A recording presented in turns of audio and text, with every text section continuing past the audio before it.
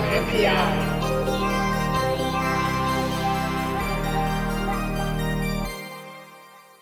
Hi, on NPI brought to you by DigiKey. Thank you, DigiKey. This week it is Laird Connectivity. Yes. Lady Ada, what is this week's new product introduction? I'm glad you asked. Okay, so this week it's actually kind of a collaboration. Uh, this week it's the Sera NX040, which is a, a combination of the NXP SR 040, which we'll talk about, and you know our favorite, the Nordic NRF series, the NRF52. This is the 833, which is actually more recent than the 840, I believe.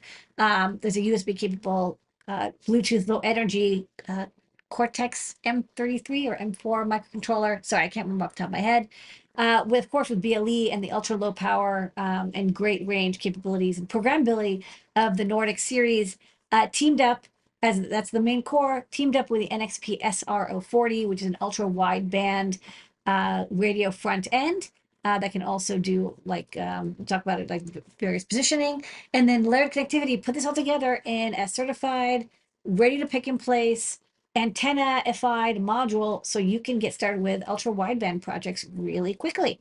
Okay, so ultra wideband, what is that? Well, it's like it's like those pants from JNCO, right? They're like ultra wide leg. These are ultra wide band. This is a radio system that um, blasts data over. You'll see like you know like a gigahertz wide bandwidth, um, and it can transmit and receive data, and it it doesn't it's not the same as wi-fi or bluetooth which is like 2.4 gigahertz and it's not LoRa which is usually like 90 900 megahertz or maybe 433 it's much higher frequency so it's very near uh, very uh, short distances you guys get to hear it three times um, okay uh mentioning with ultra wideband specifically for uh doing small scale location because um if you want to do geolocation with gps or you want to do cellular um uh, triangulation with like cell towers. You have to be outdoors. You have to have network access, or you have to have a GPS fix. You have to have like good connectivity to the sky or whatever. And you can also get 10 meters best range. You can also do Wi-Fi or Bluetooth Low Energy time of flight detection. Um, that'll get you a little bit better, but it's still going to be like within a meter or two. Um, also, usually you can't tell which direction. You can just tell like overall distance, like oh, it is you're you know 10 meters away or 20 meters away, but you don't know exactly where within a 3D space um, the target is. And then with ultra wideband, what's really neat is, especially if you have multiple anchor tags, you can actually do centimeter level indoor positioning. Um, where like within an indoor space where you don't necessarily to have you can be in a basement you can be in a tower whatever or you can do it outside of course but uh, specifically indoors it's great um, you set up multiple anchor tags and you can detect where in 3D space objects are within that space. And this ultra wideband is one of the few technologies that can actually do that kind of uh, positioning, uh, that kind of precision indoors.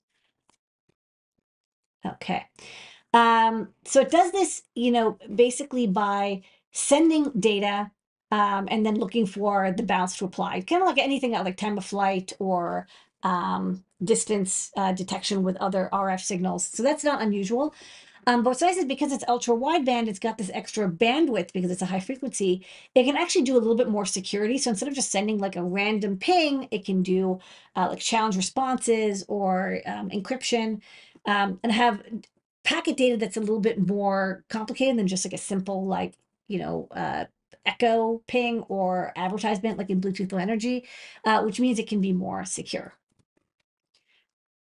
And so I actually did a little bit of reading about like how the ultra wide, you know, bandwidth with that ultra wide bandwidth uh, location works. And um, what's neat is the data is sent and it's like this beautiful sinc pulse, and the pulse shape is like uh, tuned in a way so that you get um, no frequency outside the band. So yes, it does use this ultra wide band, but the energy level overall is quite low because it's spread out over this wide frequency.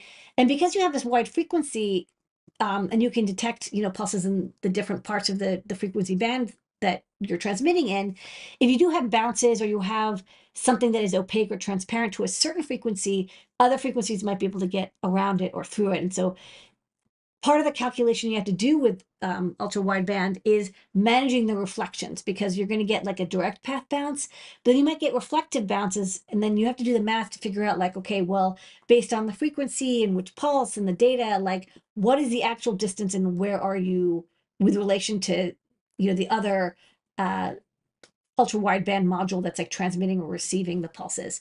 Um, and that's what's really nice about the NX040 is it does that all for you. So you don't have to do the math and calculate and figure out like, you know, all this, the correlation of all the symbols and data that you're getting. Um, once you've synced it up with the transmitter, so it all has like the same security key, it'll just tell you like magically like, hey, here you are with X, Y, Z coordinates. Okay, um, there's basically two ways you might want to use ultra wideband. There's the single sided. So this is one to one, and you have um, you know, a transmitter, say your car, and a receiver that could be like a key fob or a phone in your pocket.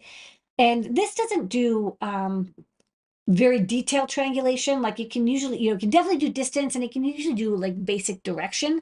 You're going to get like maybe X, Y, not, probably not going to get X, Y, Z coordinates, but it's good for detecting when somebody is nearby and how close they are.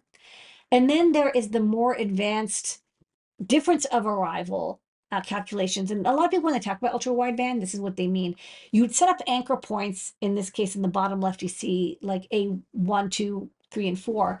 And those are transmitters or receivers that are looking for signal coming from that cell phone that's kind of wandering around the 3D space. And by taking those four bounces of the signal, it can calculate where in 3D space that cell phone is. And so this would be good if you're like, oh, I have a, you know, event space and I want to track where people are within that event space, or I have assets within a factory. I want to know where that asset is. Um, this is where you'd use uh, time difference of arrival. So two different use cases. Um, the previous one tends to be used for like detecting when somebody is nearby for like security purposes. You want to unlock something because it's like, oh, you've been authenticated and you're nearby. Um, this is a nice comparison from NXP showing um, the accuracy. Uh, you know, they didn't even show GPS or cellular, but that's also in the range of seven to 10 meters.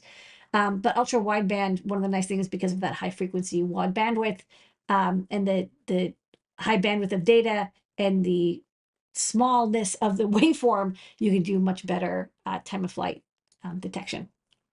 Um, so, you know, originally it was for item tracking, but what's interesting is um, the new use case, you know, and, and indoor navigation, but uh, some new use cases that are coming in are built smart building services. So detecting when a person is at the door automatically unlocks or hands-free payments. You don't need to touch to take your phone out and touch to pay. It just knows that you've, you know, you're walking by and you're authenticated already. Uh, so, you know, like we're, we're talking about how in New York City that when you want to go through the turnstile, you have to put your phone on the tap to pay to go through. But wouldn't it be cool if you just walked the turnstile and it was like, hey, I can detect that you have an ultra wideband capable phone. It's you know you're within four centimeters. I know that means you're within the turnstile. I'm going to let you through. Um, so car access is seems to be another uh, technology that's picking up ultra wideband, especially as cell phones um, are starting to add ultra wideband technology because people tend to have their cell phones and may not have their car keys. And what's nice is that ultra wideband isn't susceptible to the relay attacks that have been like really like a plague on cars. Um, this is like a kind of a famous clip of of somebody who was caught. They put an antenna near the home and they they they amplify the signal from the key fob that might be next be left near the door or near um, the window, and they use that to unlock the uh, car. So ultra wideband doesn't have this issue because it isn't this simple um, transmitter receiver. It, it can actually do authentication within the ultra wideband frequency. So inside each module, you get the NXP SR040, that's the ultra wideband, connected over SPI to the Nordic NRF52, that's the main core that you're going to be working with. It also has Bluetooth low energy, which means there's this you know backhaul uh, because it, ultra wideband, even though it has bandwidth, you can't communicate back to like a phone or a computer. So the, the Nordic NR52 833 is what you would use to connect a computer, a cell phone, um, or other devices because it has full Bluetooth low energy capability. And of course, all the peripherals you need.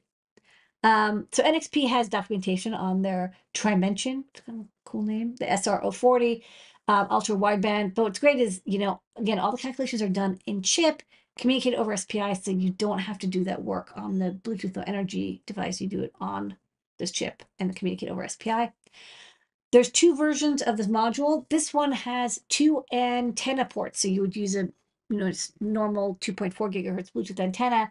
For ultra wideband, you'll want to pick up you know, Laird has the matching nano uh, wideband antenna, which you know, I'm assuming when they do the authentication, uh, authentication, the certifications for the chips, they use this antenna, so you get to use their certifications.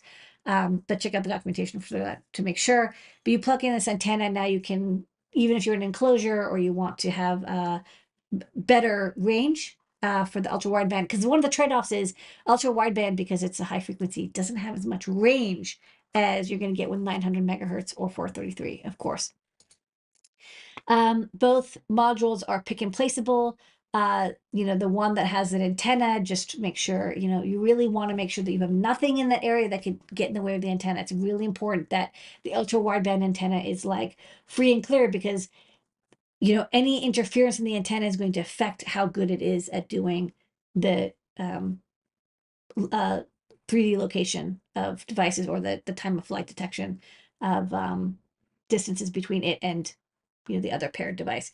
There's also a dev kit available, which I kind of like. Uh, has everything you need. It's got even a little microbytes connector.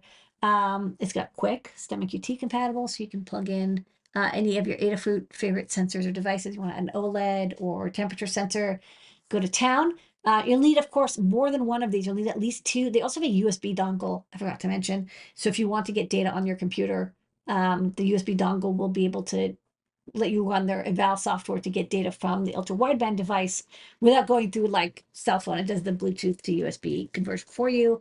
And best of all, it's in stock. Thank you for being patient through that uh, INPI.